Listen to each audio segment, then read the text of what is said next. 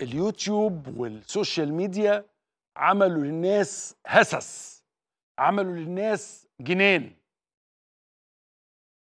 وأنا بس عايز أقول لحضراتكم معلومة واضحة إنه حضراتكم بتشوفوا ناس كتير يقول لك أنا عامل فلوس من اليوتيوب.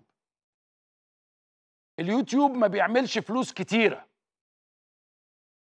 بالنسبة للناس العادية اليوتيوب بيعمل فلوس للناس غير العادية يعني نجوم خارقي العادة.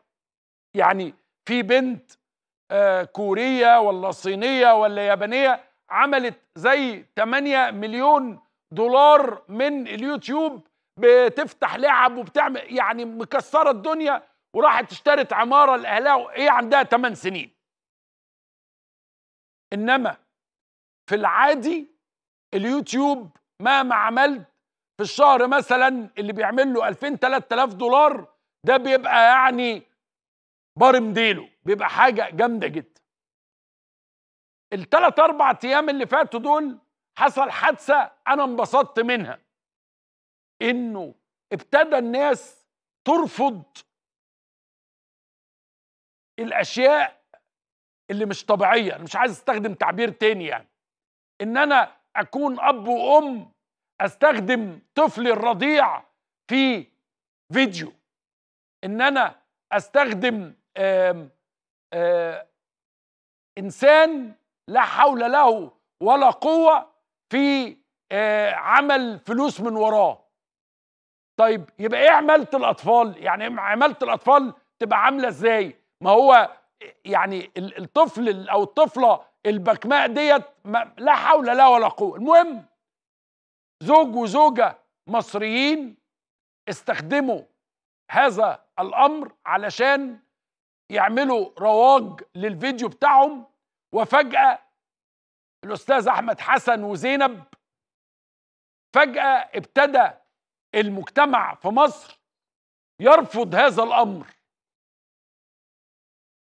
ويدينه.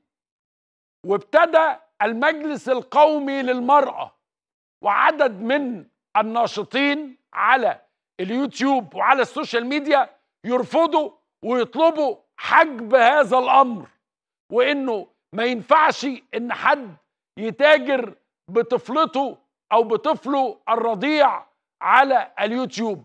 يعني المسألة كانت بقالها مدة أي حد يعمل أي حاجة. بس على فكرة يا جماعة ابتدت الناس تزهق ابتدت الناس تتضايق ابتدت الناس تقول لا إحنا مش عايزين هذا الأمر إحنا مش عايزين نوصل لكده. الطفولة ليها براءتها الحياة الخاصة ليها حياتها. بالمناسبة أيضا بمناسبة الحياة الخاصة مش الحادثة دي بس أيضا في المغرب فيديو نزل لفتاة بيتم اغتصابها في الشارع. الناس رفضت الفيديو. قالت لك إزاي يا جماعة؟ أنتوا قاعدين بتصوروا البنت وهي بتغتصب ومحدش دخل يدافع عنها. الناس ابتدت في مصر وفي المغرب وفي أماكن كثيرة ترفض فكرة التسلية ل- لأجل التسلية أو مهما كان ثمنها يعني المغرب الدنيا مقلوبة على هذا الأمر. الدنيا مقلوبة على الفتاة اللي تم اغتصابها قدام رجالة كل اللي همها إنها تصورهم علشان تنزل الفتاه وهي بتغتصب على اليوتيوب وعلى ال social media. طبعا هذا الأمر آه، بنحيي إنه القومي للطفولة تدخل. يعني ما نتمناش إن الناس تتسجن لكن في النهاية هذه الأمور يجب أن تتوقف ويبقى في شوية أخلاقيات.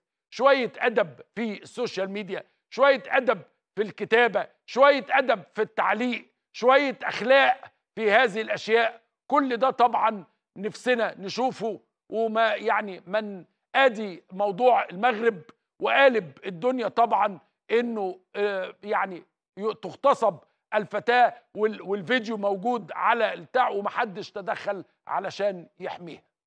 أشياء كثيرة بيتم الآن رفضها. المسألة مش مكملة بشكل كبير.